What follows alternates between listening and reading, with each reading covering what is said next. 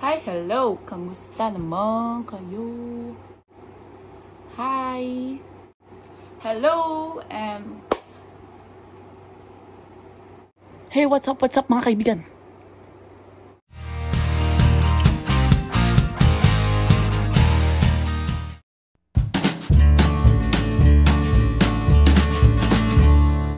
Today ay mag-react naman ako sa mga old photos ko. Isa to sa mga requests from my stories back then ng vlog suggestions. And simulan natin. So, dito ko titingnan yung photo sa iPad. So ito, itong picture na to. Yun nga, sa, ang tawag na sa akin ni daddy dati, bally legs. Kasi every time na magpipicture daw ako nung bata ko, ay bally leg.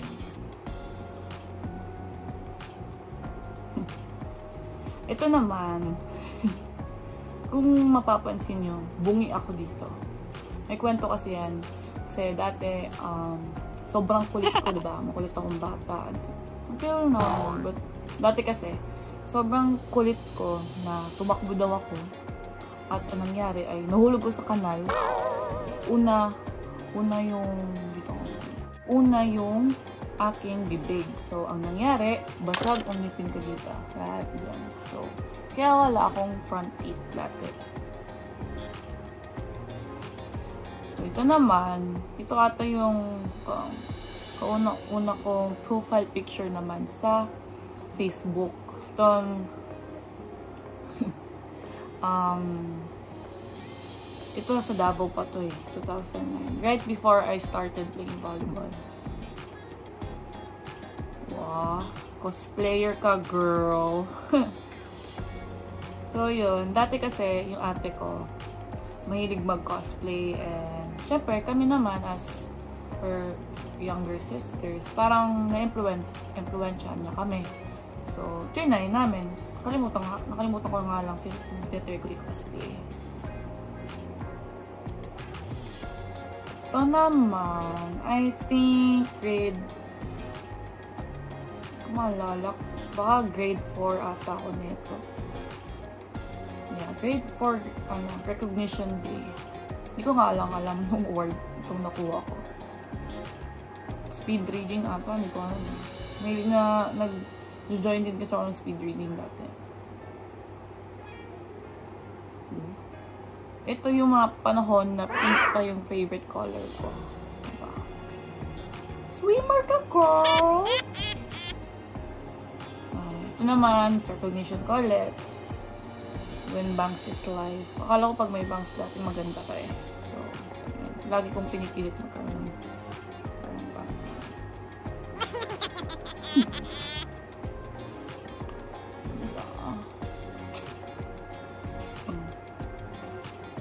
Ito naman, I remember taking classes, mga cooking classes. Ang maalala ko niluto namin dito, cookies. Cookies, maalala ko. Kasi hilig ko, mahilig ko sa sweets, diba? Cookies. Kasi pangarap ko dati maging chef eh. Siyempre, to be a, maging chef kasi mahilig ko kumain. So, kung anong gusto ko kainin, yun ang nilulutuin ko. So, So naman, I think nung pumunta kami ng Kamigin, I guess.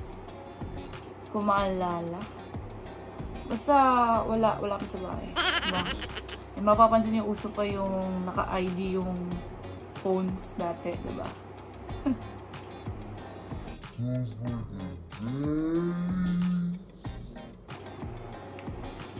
ito ang malupit. Ito yung first time ko mag Milo Olympics. I was grade 4. Ito yung recognition ko kanina. Grade 3 ako. Tama nga, speed reading yun. So, ito nga. Ito yung year na sa Cagayan.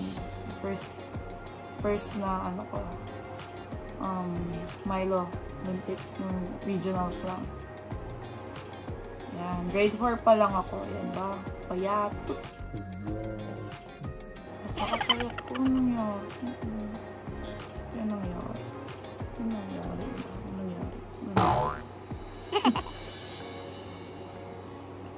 This one naman. Ayan. Dati kasi mahilig ako mag-ponytail, diba? Yung gito ka, yung mga gito kataas. Yung mga ganyan kataas. Tapos sobrang haba pa ng buhok ko. Mga abot puwet. Ewan ko ba? Ba't ko gusto yun? Parang dati kasi gusto ko maging signature siya na the volleyball player with the high ponytail, yung long ponytail. Yeah, I think din kasi my dad wants my hair to be long. Kaya parang...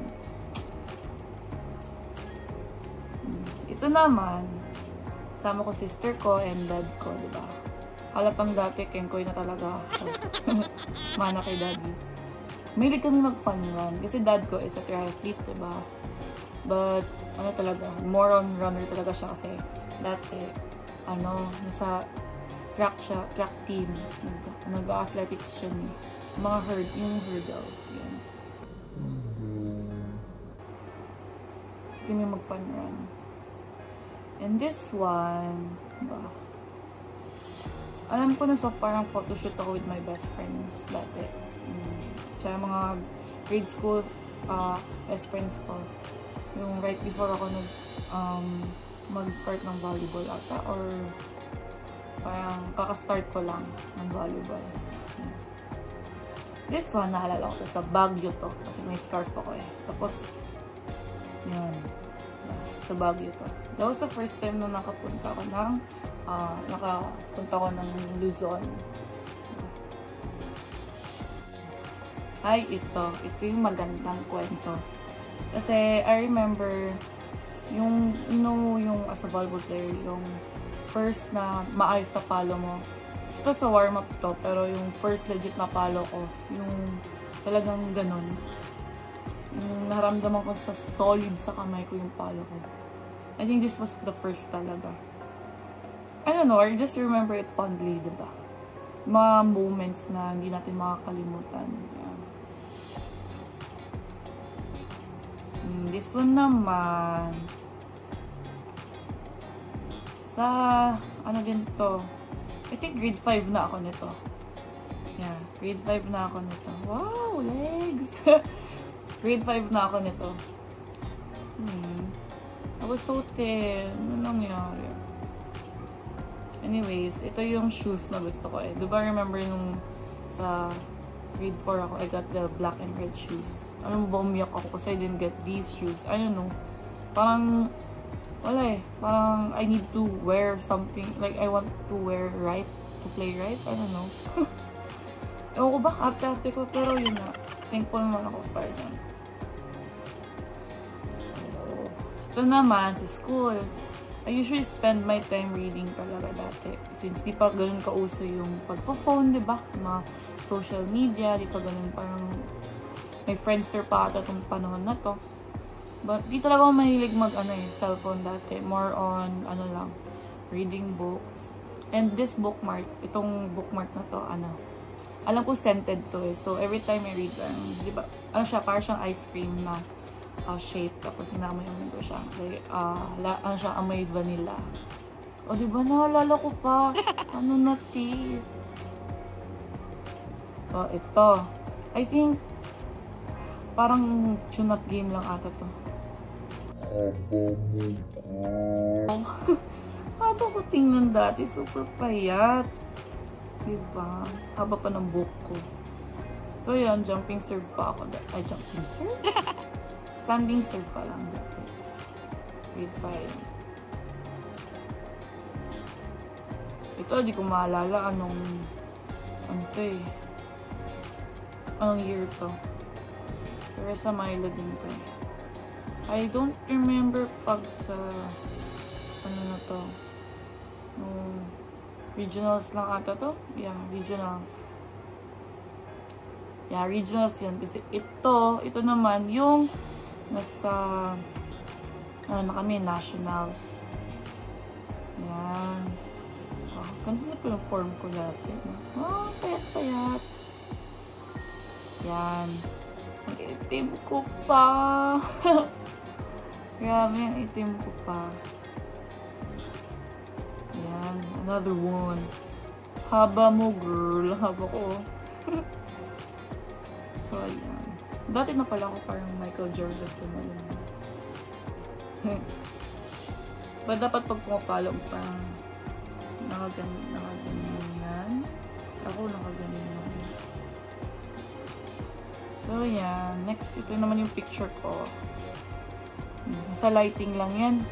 Ang puti ko dito, pero may itim ako nagmanaon na to eh. And, kita nyo, uso pa yung headband sa akin. Mahilig ako mag-headband dati kasi ang dami kong baby hair. Then, tsaka ko lang na-realize na din, ayoko na pala ng headband. Kasi, parang di ako makakita. Kasi pag sa game, pag napapansin, gumaganon ako, tapos gumaganon ako lagi. Ito naman, grade 6 ako nito. I remember grade 6 ako nito. Endorser ko ng Milo Grow. I remember na mahilig pa ako sa Milo that time. Parang pre-game ko lagi yung Milo.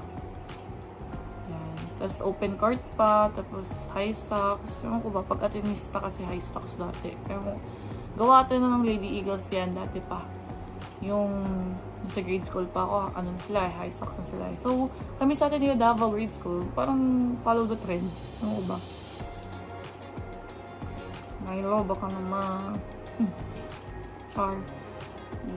Eh, ano yan, pre-game ko talaga dati. Yung Milo. For playing game. Tagom to eh. Tagom. I remember. Ito yung natapilok ako. Yeah, ito yun. Natapilok ako. First set pa lang. Parang kakastart mga for 2 points. Tapos, ay, ano pa, nilabas ako. Then, pero nanalo kami ng first set. Second set, natalo kami. Third set, naglaro kami ulit. Pero natalo pa rin kami. So, yun lang.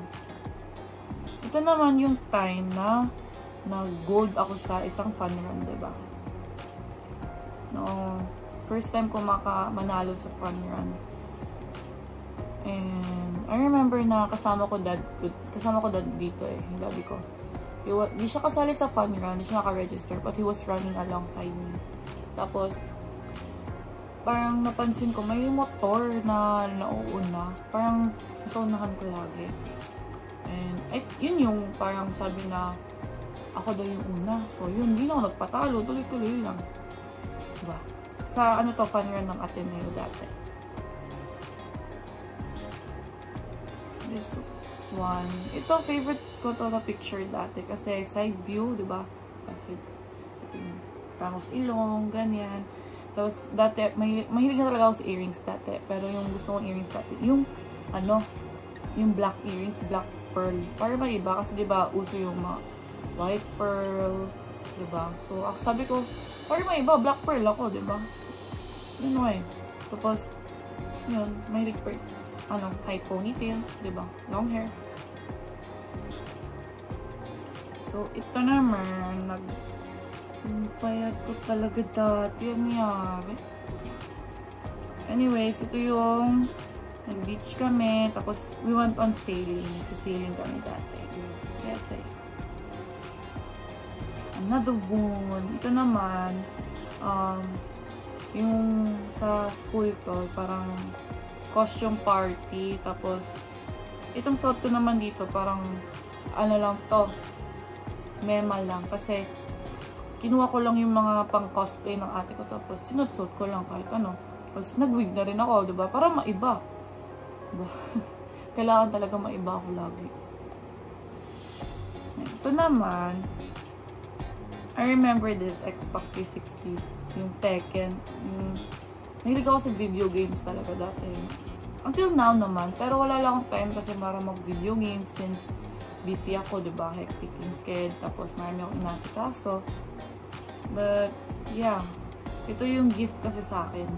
Gift sa akin to eh dati na gusto kong game. Tapos yun, binili for my birthday.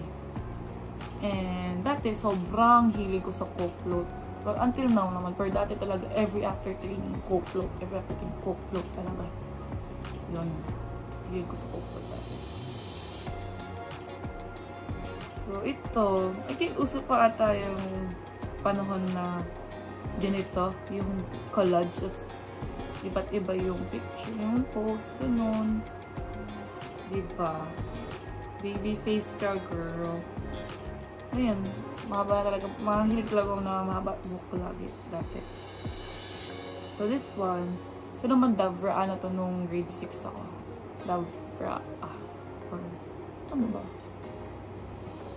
Oh yeah, Davra, ah. Davra to, preparation for Davra. So ayan. Tineo Blue Nights, ba diba? Tapos ito, ba diba? Ayos ba? Formahan dati. Simple lang. Kulat-kulat ante yung buhok. Diba? Ito na, live subler. Diba? Mga grade 6 ako nito eh. Tapos, wala kami ginawa kundi training, kain. Actually, play cards din. Yung grade 6 ako. Grade 6 ako nito. Yan. Since, ano, yung Dabra kasi during school days yan. So, may project pa rin kailangan gawin. So, ito, project ko sa atin ngayon. Faith is the evidence of things not seen. Oh, Hebrews 11. Oh. Favorite verse, 11.1, diba? Kaya ito din pinagpala talaga ni Lord na yung first juicy number ko is 11. Kasi sa Bible, diba? The first, um, yung ver ano, the chapter about faith is in Hebrews 11. Diba? Hmm. Ito, may kasamang caption. This was the time nagasakit shoulders. hmm. Bisaya ko, girl. so, yon dati, Bisaya, no, na, Bisaya way of talking, diba? Uh, diba? Siyempre, no discrimination against it. Pero, uh, yeah. Yun naman kasi mali yung ghetto. It's just, um, parang let's say, broken Tagalog, diba? Kasi, di naman, as long as naiintindihan ka naman ng kausap mo, that's really what communication is for, diba? Uh, my opinion lang naman, diba? And this one, yeah, ito din, grade, I remember grade 6 ako nito, and I think this was during warm-up, nag-warm up kami, kasi I don't, I'm not a setter naman, so I don't remember na ganun pa ka-advanced dati na kahit yung as a grade school, diba, team, hindi naman kami ganun ka-advanced na anyone can set. So, yun. Diba, haba ng hair, diba? May kamukha daw akong ano eh, volleyball player dati. Parang Russian ata.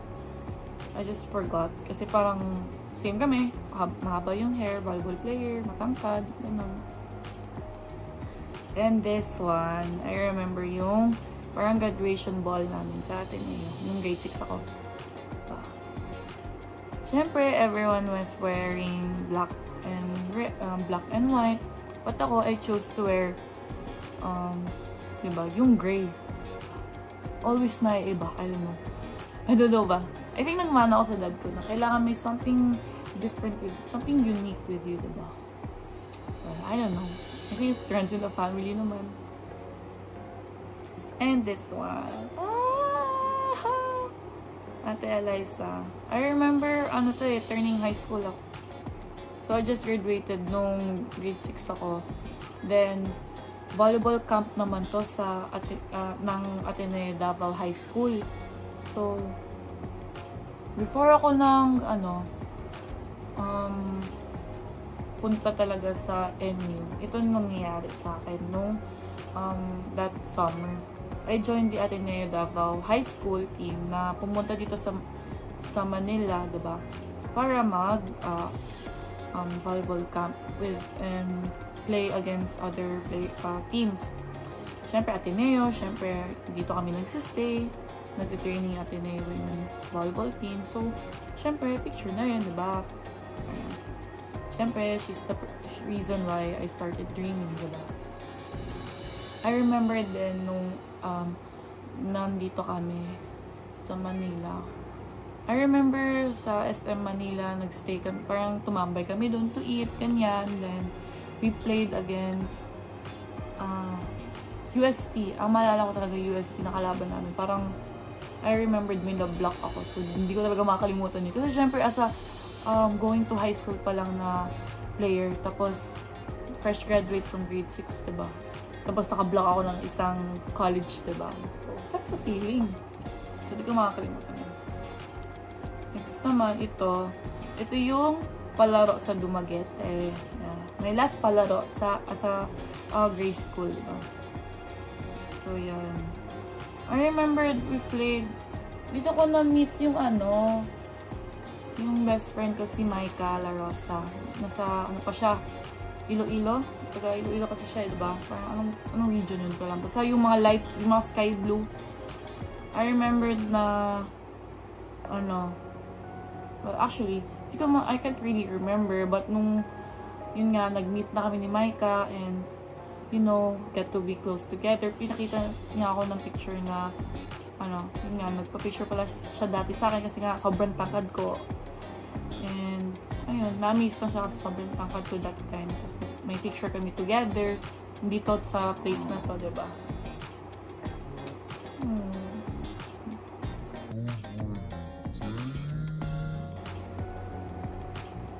And, ito naman yung nasa National University na ako, nung high school, first year. So, ano ba yung kwento? Diba, nag-training na ako nung, ano, sa Ateneo High School. Like, tapos, technically, is, ano naman, um, enrolled na ako, di ba?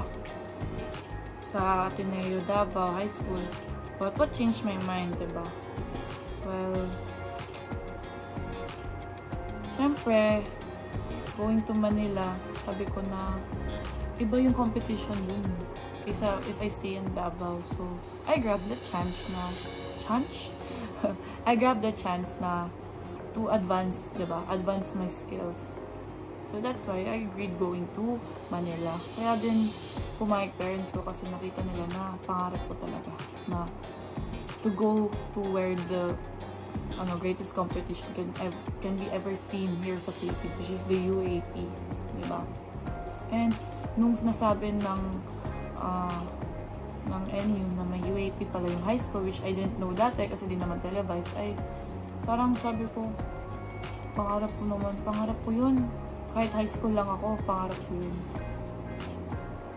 That's why. And, di ba, picture na to. Hindi pa rin ako nagbabago. Kita nyo, may black pearl pa din ako. Black earrings, black earrings. And, ito, di ba? Sa school ako. Ayan. Short hair. Diba? First time ko magpa-short hair when I went to Manila. And my dad didn't agree. Ayaw, ayaw kasi ng daddy namin na maiksi buhok namin eh. So, ayan. So, ayan. Ito yung liga namin. Ayan. Kalaban namin Hope. Ayan, no? si Basarte ata to eh. Ayan. Isa si Seskay sa likod. Christine Magallanes, yung nasa, naka, yung libero namin. Ate Ferlin, yung nasa bandang gitna.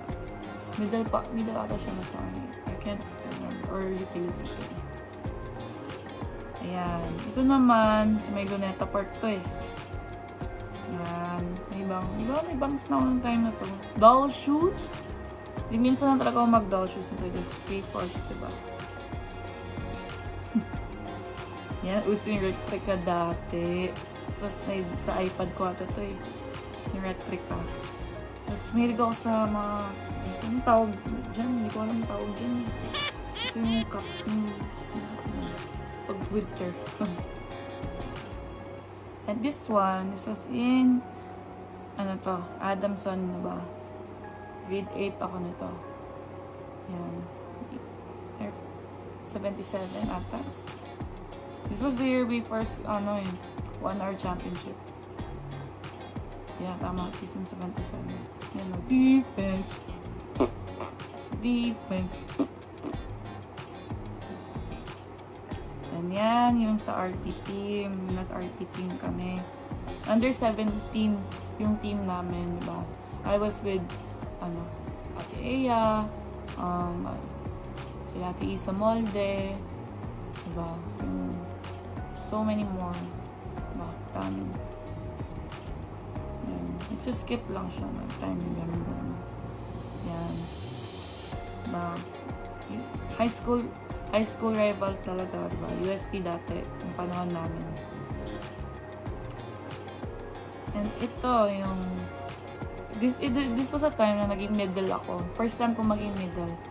Nung nasa RP team kami. Kasi masyado na kami maraming ano, yung open hitters that time. So, they made me na middle player na lang. Since yung ano, nag, ano, nag parang who discovered that was yung setter namin dati no so si Ate Rica Jolan. Ano siya kababayan ko taga Davao din then sabi niya try ko daw mag-pick. And then nakita ng coach namin. So ayun ginawa na lang ako. Ginawa ko middle kasi may potential naman daw. So why not use it diba para dagdag na din sa game plan.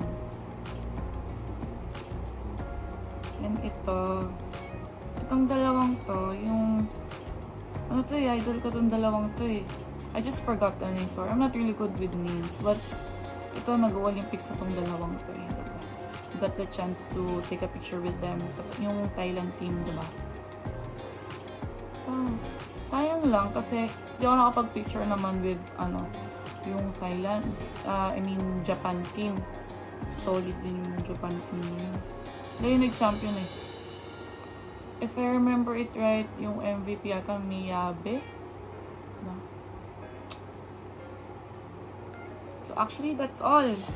Hanggang dun lang. Kasi if I continue sa timeline, I think di na siya ganun ko. Yeah. Photos ko. Diba? It was year 2014. So, 6 years ago. 6 years ago, ito mga pictures na to. So, ayun. Um, at least nakapag-onting storytelling naman ako, diba? Not really react diba, to my old photos, but story tell kung anong meron din sa mga photos ko. Basta mood ako mag-throwback, diba? And actually, that's all. And, you know, comment down below yung mga suggestions pa na gawin ko. And I hope na, know, mag-subscribe, like, and share. Turn on your notifications para sa mga um, next videos ko, diba? Peace out! Música